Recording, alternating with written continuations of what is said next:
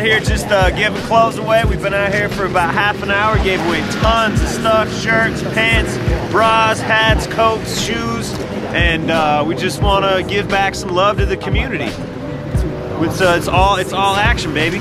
Street action. This is Johnny Hurley. He was a musician, a five star chef, an activist, and a member of the local anarchist media collective We Are Change Colorado. On June 21st, he died stopping a mass shooting.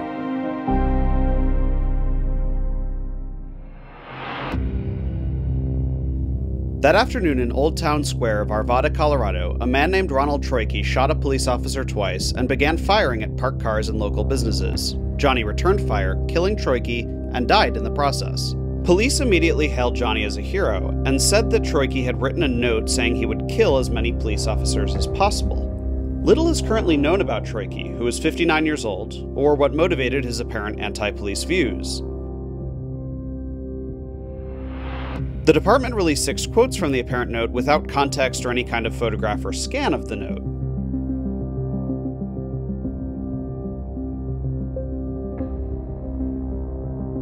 Troyke had been arrested in 1992 on a misdemeanor assault charge and pled guilty in 1994 to a DUI when he was about 32 years old, but no records show any apparent recent legal issues. He had filed for bankruptcy in 1992 and 2013, and he was evicted from his home in 1995. The threat to our officers and our community was stopped by a hero named Johnny Hurley. Johnny's actions can only be described as decisive, courageous, and effective in stopping further loss of life. What happened next is equally tragic. A responding Arvada officer encountered Mr. Hurley, who was holding a rifle, and our officer shot him. Our police department and community's view of Mr. Hurley and his actions are heroic. It wasn't until four days after the shooting that police revealed it was responding officers, not Troyke, who had shot Johnny, having apparently mistook him for the shooter. The footage police released was incomplete, only from one angle and cutting off before Johnny shoots the shooter and the police kill Johnny. As soon as the story came out, a bunch of us were like, oh, they're not telling us because the cops shot him. Obviously, like five days later, they told us that. Oh, they're not going to tell, like, all the things that we thought, you know, as conspiracy theorists, all the things that we thought might be happening, obviously played out over the next two weeks. And we're just like, okay, yep, that's, yep, that, it's crazy and exactly what you would expect from the system that we live in. This is the parking lot where Ronald Troyke pulled in. He was following Officer Beesley, he saw him walking down this way. Uh, he pulls into this third spot here, parks his truck, uh, grabs his shotgun out of the car, and starts following Officer Beesley up there. He's, he's running, he's jogging, you can see that in the video. Until which point is where he gets up right about where the asphalt ends, maybe a little further, yells at Officer Beesley. When Officer Beesley turns around, he then shoots him twice. Officer Beesley falls over here. At this point, Ronald Troyke starts walking this way. There are police vehicles here somewhere. Uh, he shoots out two of the windows in the police vehicles, reportedly shoots another one into the air, and at that point, he starts heading back to his vehicle to get the AR-15. That day I was in the store. Um, we heard seven, you know, loud gunshots. There's maybe about seven people in the store at the time, and um, Johnny was out front. He just parked in our lot uh, in his truck, and uh, just finished up a cigarette. And within about 20 seconds after he came in is when he heard shots. Johnny just ran, ran straight out. Right about here, actually where I'm standing, he pulled his weapon out, ran all the way out, and then when the, the guy came back, I guess, according to the video that I've seen, he actually had, by that time, had an AR-15. While police didn't release video of Johnny firing at the gunman, he can be seen running across Arvada Square toward the threat. Meanwhile, the shooter can be seen putting the shotgun back in his vehicle and returning with an AR 15.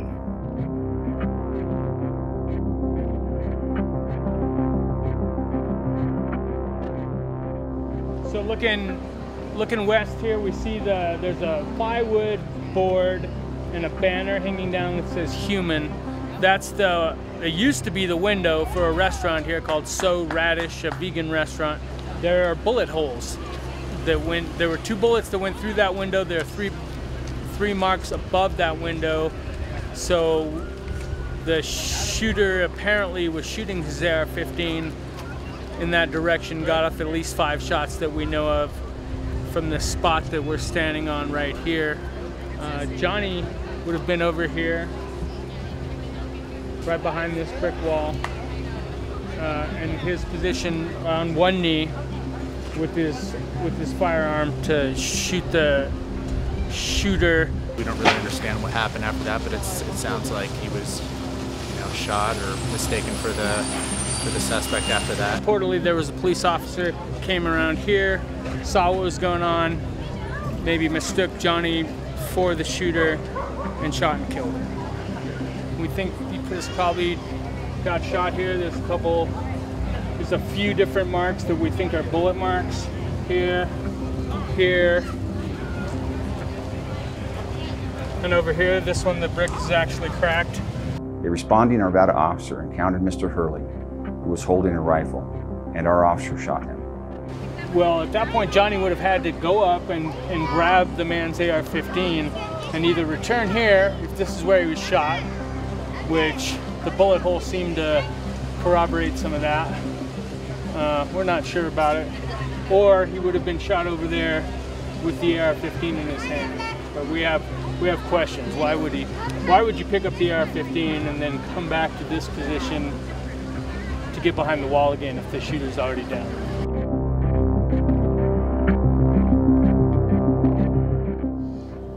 It's, it's kind of a weird situation because he was very critical of the police and he was very critical of the system.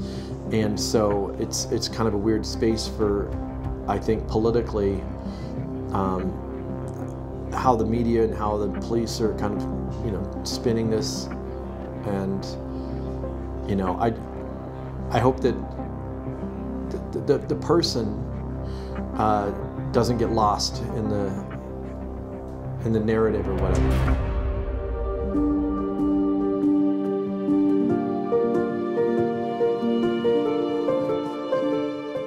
I was only 20 when I met Johnny, but he kind of took me under his wing and made sure to kind of teach me the ropes of activism and learning how to, you know, speak, you know, freely and use free, freedom of speech, but do it in a good way. And uh, we did a lot of uh, we did a lot of events together over the years. This love requires no permission. This love does not require funding. You don't have to sign a contract. Johnny came around in 2008 and he was always really passionate. It was his idea we needed to go out and, and make some love police videos where you basically offer free hugs and uh, to people on the street with signs and just love people. And that was that was his idea and his brainchild and they came out really beautiful. When's the last time you hugged another human being? That's a good question. It's been too long, whatever your answer is.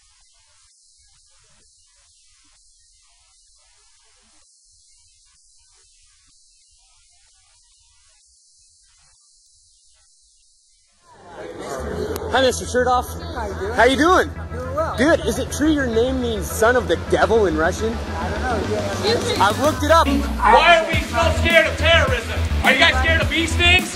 You guys gonna be spending billions of dollars to protect you from bee stings? Do you really want to do that, folks? One of my memories with Johnny, you know, we, we did a lot of uh, confrontations with with uh, with regard to 9/11 truth, and we spoke out on uh, at one occasion when Michael Chertoff, the founder of Homeland Security, was in town. We questioned Michael Chertoff about September 11th, and I just remember Johnny's just like very much bravery to be able to go and ask questions of these politicians, uh, you know, and, and demanding transparency and accountability.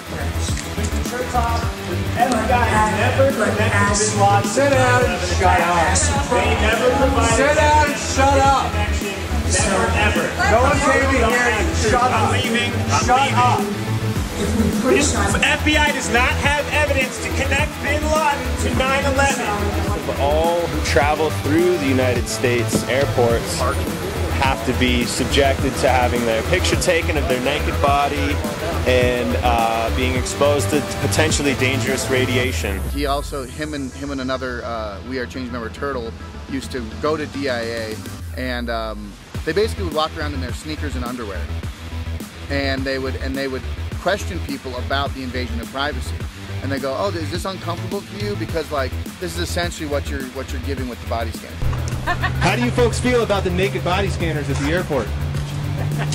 You know, they want to look at you and lessen your underwear every time you board an airplane just to make sure you don't got any bombs in your britches. Or floats your boat. How about you folks? How do you feel about the naked body scanners at the airport? Naked buddy, You're cute. Well, thank you. Turtle, we are Change Colorado. Guess we'll have to make do with public public display. But that is the other side of Johnny, where you know we are very politically active, and we try to make these make these uh, our voices heard in very non-threatening ways, but very uh, very uh, elaborate kind of kind of situations. I mean, like if someone if someone at DIA saw two dudes in underwear giving interviews to people asking about invasion of privacy, pretty sure you wouldn't forget that moment. Do you know what a GMO is? A genetically modified organism. Genetically modified organism. Genetically modified organism. Correct. Would you support uh, an initiative to uh, to force companies uh, to put these labels on the food so that we know what we're eating? I think it would be wise. Honestly, I don't think I would actually read them. You you wouldn't read the labels, no? Most people would. Colorado right to know petitions getting turned in in a train with the crowd over there. I met him originally in 2014 when we were both working on the Label GMO campaign. We were working to get um, that on the, the ballot initiative and he would come over. We hosted uh, educational potlucks where people would come and we'd get together and we'd share food and, and stories and information and Johnny would come and play music often and just like be there. He'd cook food for people if uh, you know, sometimes he'd have people that would have cancer and he would go cook the meals or he would uh, do different uh, events. He was a very great chef and a very great cook, you know, who would you know, use his skills very to, to, to share. I met Johnny first in 2013, and he was cooking up some food for the kids. Good, organic, non GMO food. And uh, it was great. He helped us on Colorado Right to Know labeling initiative for labeling GMOs. And we got it on the ballot, yes, on 105.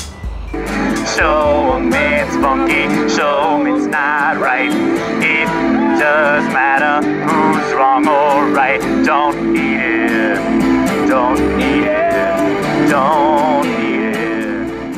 people forget the power of the of the written message, the power of words in your face, big colorful letters that stand out uh, in the public. It's a very effective way of spreading a message. So uh, I came out here. I didn't have to pay anything for this sign. This probably cost me less than a quarter to make.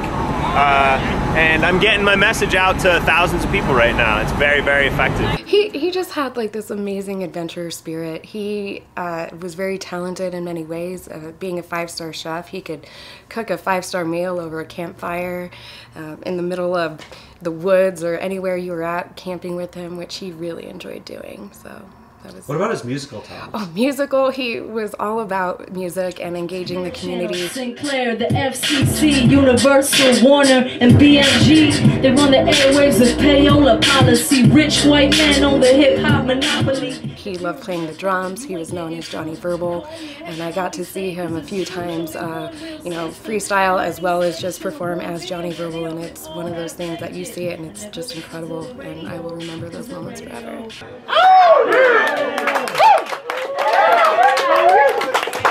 Johnny Verbal. We used to do the We Are Change open mics and bring in music all the time. And if there was any new people, he would always go and engage and talk to them and make sure that um, they felt welcome.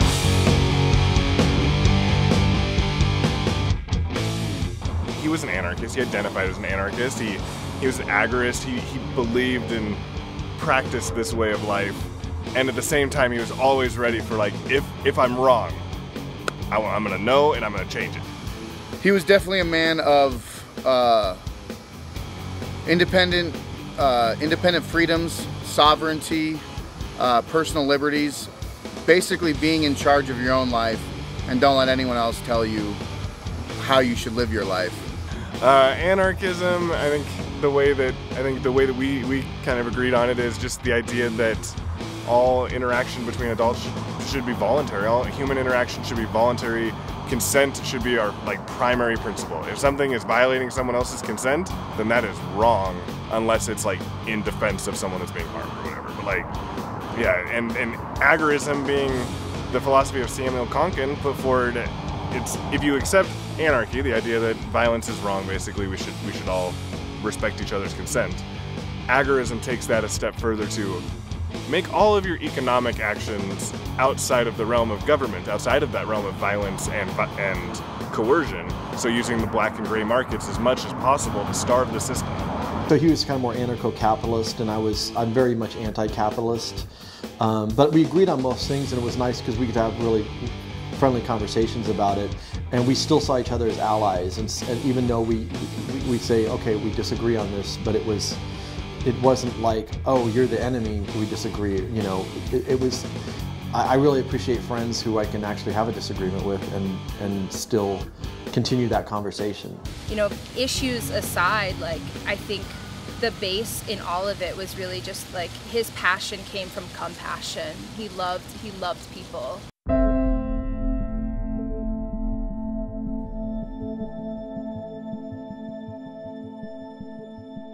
The last moment that I got to really spend with him, he showed me how to use my firearm in a way where um, even though I'm disabled and have issues with my hands and back, that I was able to protect myself. He, he, he got to find out that like I am afraid of using my gun and am afraid of it. And so he took the time to show me how to use my gun in a way where I can feel comfortable with it even though I am not very strong in, in my arms and in my, in my hands after an injury. So it's it's one of those things where um, he, he, took that moment and and and it was important not just to him, but that I was able to protect myself no matter what.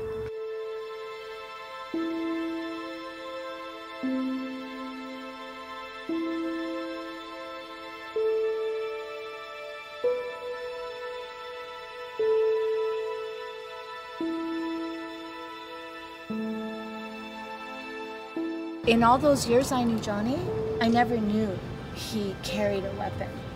I never knew that about him because it wasn't something he was either proud nor ashamed of. This wasn't your regular gun, you know, just, you know, weekend warrior. This was someone who took it very seriously, was very well trained, and, you know, I, I think it takes a special person who can go up to someone with an AR-15 with a with a handgun, you know, in a very wide open area.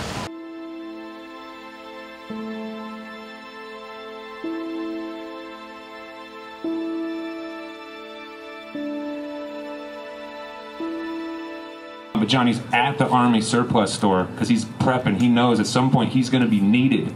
And in that moment, he just springs up without question and he's just the hero to save the day. And so I just want to make sure that we all take home today that inspiration, to be inspired means to be in spirit, to take home his spirit with you today. He's here with us right now.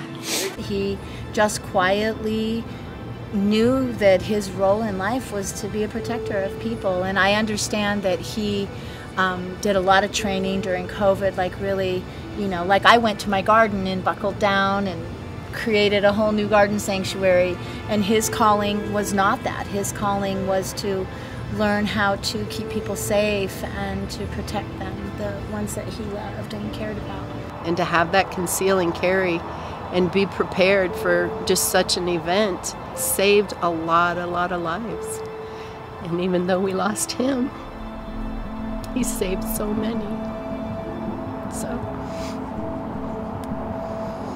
Definitely saved lives and for sure, if that even most likely like policemen, policemen lives, because it sounds like this guy was really out for policemen.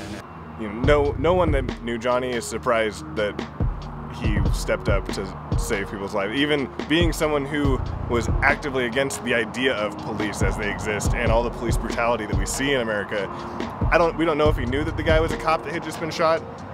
If he had known it was a cop, I don't think it would have slowed him down either. Like he, he sees someone doing wrong, like doing harm, he's gonna step in the way. And that was very much like he, there's a reason he had his concealed carry and there's a reason he trained because he wanted to be ready to protect his community. Johnny didn't like police. Johnny didn't like law enforcement. Johnny didn't like the state, uh, the state and their laundry list of laws and and different citations that they can give you. I took some photos of Johnny where Johnny was carrying a mirror and the, there was the cops in the in the, in the mirror that he carried and I, I remember taking those photos and those were just moving photos and then to see those resurface uh, we were down there in Denver at a police brutality rally and we'd, we'd seen that go around uh, from somewhere in Europe and then we decided to bring down mirrors and do that ourselves in Denver.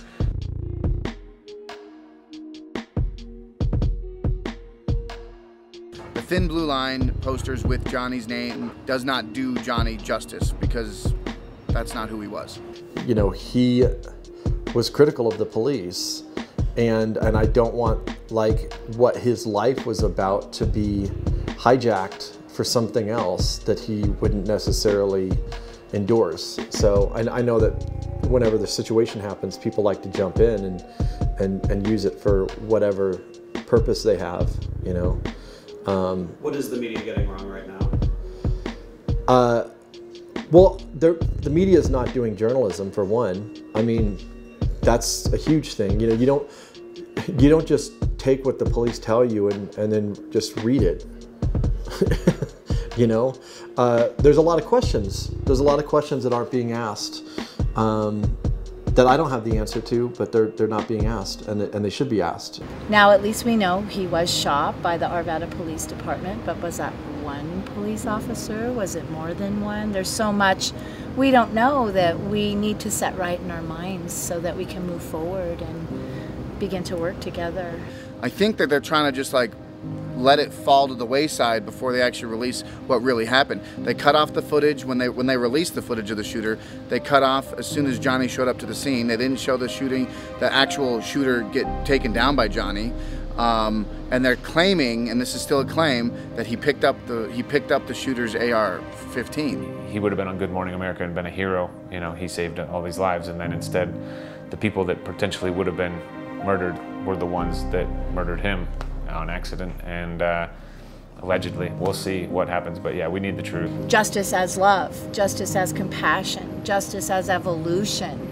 Those are the kinds of qualities he would be seeking, not retribution and punitive damage. And I don't believe with any part of my heart he would want to see this get tied up in a court system, which I think he felt was a broken system.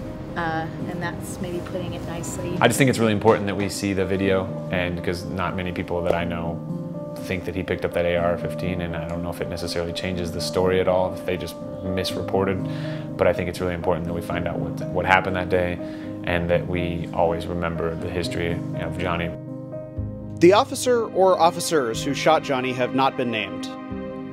The Arvada Police Department has committed not to comment further or release video until at least the Jefferson County DA concludes their investigation. The department isn't scheduled to begin wearing body cameras until 2023, a deadline imposed by state law. Of the multiple security cameras at the scene, the department only released one incomplete angle, which they cut before the crucial moments. Even at the conclusion of the investigation, they say the DA has the discretion to determine what, if any, evidence the public should see. Ford Fischer, News to Share.